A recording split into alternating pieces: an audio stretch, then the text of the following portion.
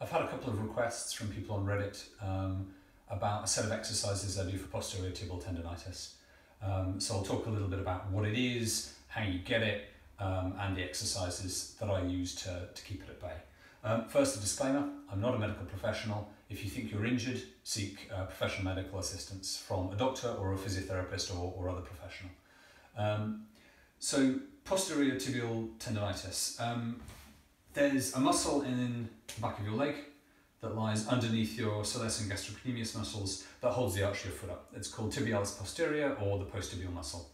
Um, it lies quite deep in here in the calf um, and the muscle runs down. It forms a tendon that stretches down past underneath the malleolus or the medial malleolus, which is the knobbly bit in your ankle.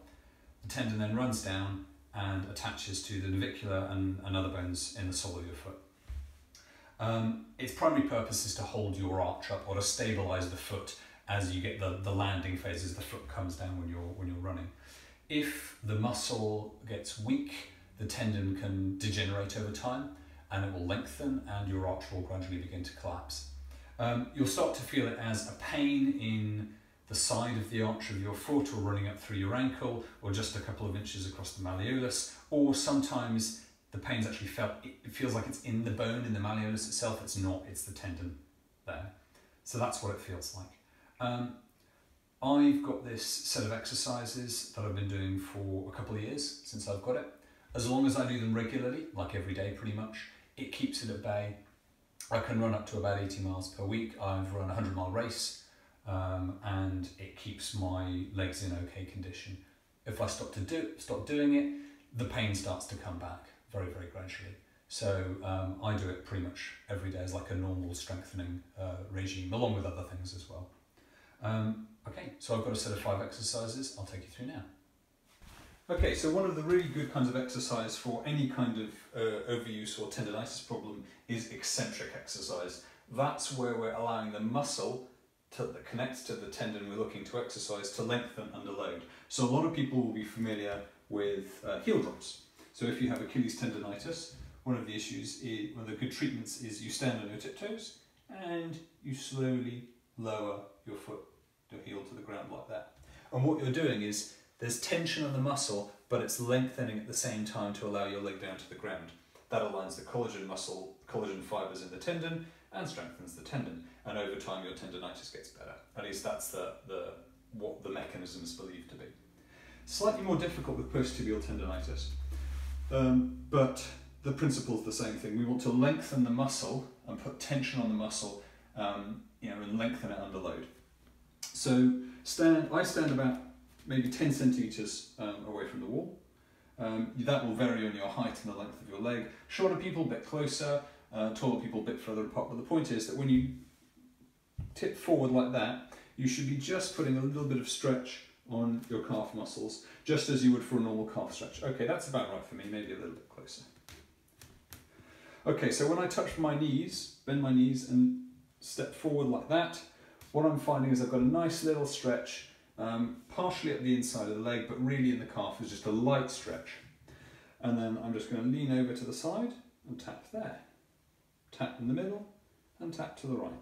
And with each of these taps, you want to be maybe uh, 10 centimetres, 4 inches to either side of the centre line. There we go. So left, middle, right. That's one rep. I do 30 reps, but I've worked up to that. I started with about six and increased like uh, by a couple um, every few days until now I can do 30 comfortably. That's exercise one.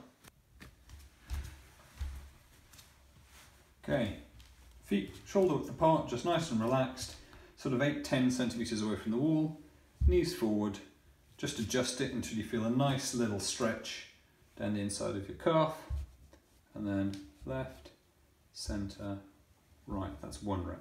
Left, centre, right. Left, centre, right. The, the second exercise we're going to talk about today is very slightly different, um, but it operates on the same principle. So what we're going to do is stand maybe, uh, I don't know, 30, yeah, a foot to a foot and a half away from the wall, and then stand on one leg. What you should be able to see is my left foot and is I'm wobbling slightly because I'm trying to maintain my balance. Um, and the muscles in my lower leg and my foot are being stimulated to try and shift my weight around to keep my center of gravity inside my foot. Um, that's entirely normal. And one of the muscles that's firing is of course is my post-tibial muscle and that's what's holding my arch up. And so if I move over to like that, to the right, and my arch collapses slightly, the muscle fires to, to pull it back. So this is a mixture of concentric uh, and eccentric contraction. Now the basis of the exercise is while I'm standing on one foot, I need to tap my knee to the left, to the centre and to the right. Left, centre, right, while starting to balance, or continuing to balance on one foot. And what this is doing is this is generally strengthening the muscles in my lower leg, but in particular, my post-tibial muscle um, is pulling through my tibialis posterior tendon to hold the arch of my foot up. Side angle of the same uh, exercise, so exercise number two, I'm standing on one leg, reaching across to the left, the centre, the right. Left, centre, right. Left, centre, right. That's one rep. And again, like I say, I do 30 of them, but I started off with about half a dozen. Okay, exercise number three. I want you to put your hands against the wall, just slightly shoulder width apart, and it's just as if you're doing a, a lower leg stretch. So you'll place your foot on the floor and bend your knee till you get a nice stretch that comes up the inside of your leg just there. So there, lift your other foot off the floor and you want to reach across your body. Left, right, left, right, left, right. And what you're doing is you're doing this exercise you're moving the foot across there, you're twisting the knee slightly across, and that's putting tension on the post-tibial tendon. But at the same time, it's trying to lengthen it slightly. So it's that eccentric exercise, so lengthening under load. So left, right, one rep, left, right, two reps, left, right, three reps, left, right, four reps. Again, I started with six or 10 of those and I've worked my way up to 30. Okay, this time slightly different view of the same exercise. So hands on the wall, slightly wider than shoulder width apart. Move out so you're at a comfortable angle. Bend your knee and just adjust it till it's about right till you get a nice bend in the knee and you can feel the stretch uh, in the back of your calf. Lift the other foot up, across the body and back. One, two, left, right. Again, six reps to start with and then you'll build up. And hopefully this is giving you a view of what it is I'm actually doing to get that eccentric uh, contraction in the muscle. So I'm trying to lengthen the muscle and have muscle tension at the same time.